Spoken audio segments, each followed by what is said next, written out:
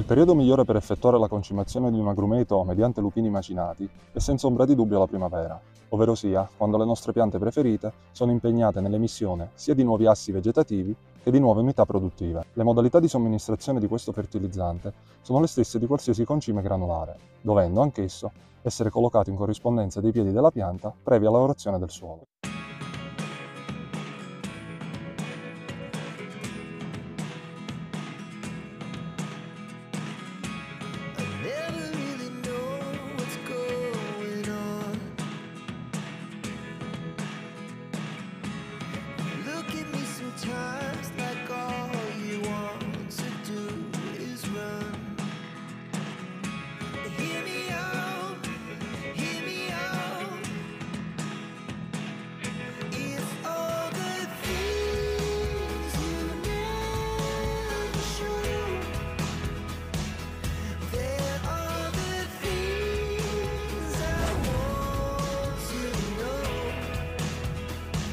E ciao a tutti amici e ben trovati in questo nuovo video. Io sono Luigi e dopo le precedenti puntate, all'interno delle quali abbiamo visto in che maniera va curata la clorosi ferrica del limone e in che modo proteggere dai rigori della stagione invernale le nostre piante preferite, oggi siamo ancora qui su al mio terreno perché intendo mostrarvi come, ma soprattutto utilizzando che cosa, è possibile effettuare una concimazione organica su agrumi.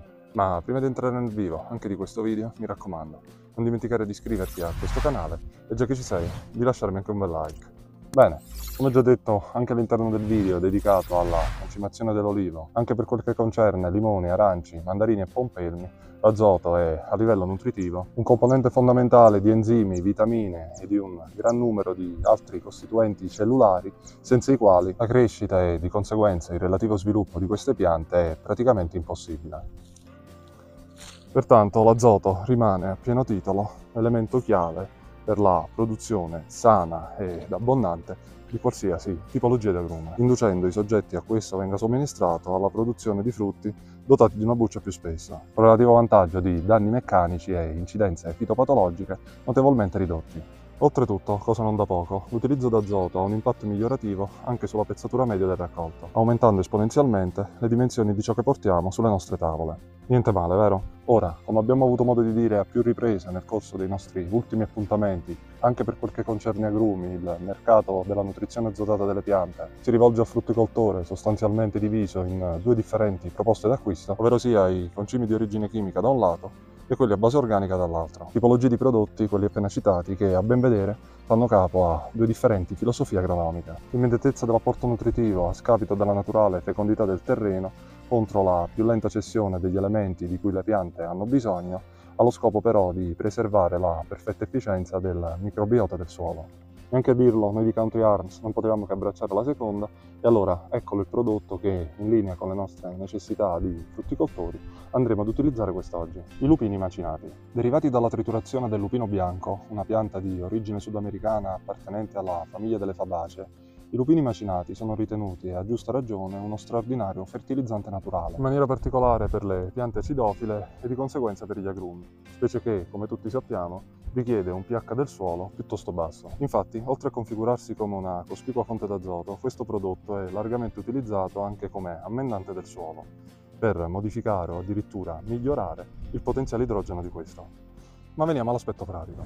Il periodo migliore per effettuare la concimazione di un agrumeto mediante lupini macinati è senza ombra di dubbio la primavera, ovvero sia quando le nostre piante preferite sono impegnate nell'emissione sia di nuovi assi vegetativi che di nuove unità produttive. Le modalità di somministrazione di questo fertilizzante sono le stesse di qualsiasi concime granulare, dovendo anch'esso essere collocato in corrispondenza dei piedi della pianta previa lavorazione del suolo. E questo è un passaggio davvero molto molto importante, specialmente se si vuole evitare che siano le eventuali erbe infestanti che caratterizzano il sito ad avvantaggiarsi dell'intervento.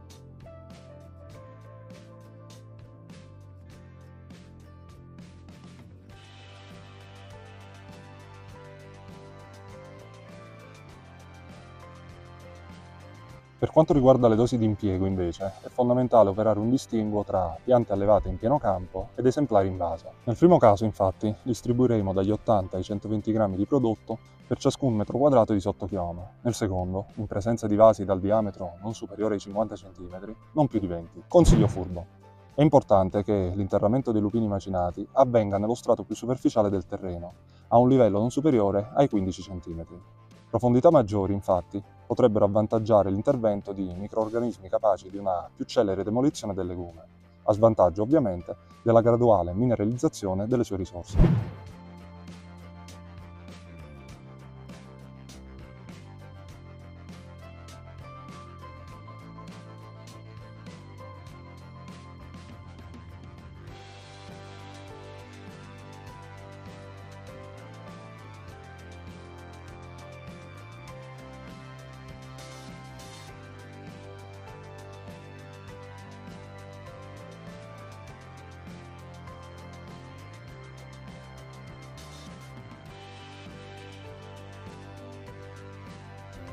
E voilà, e il gioco è fatto.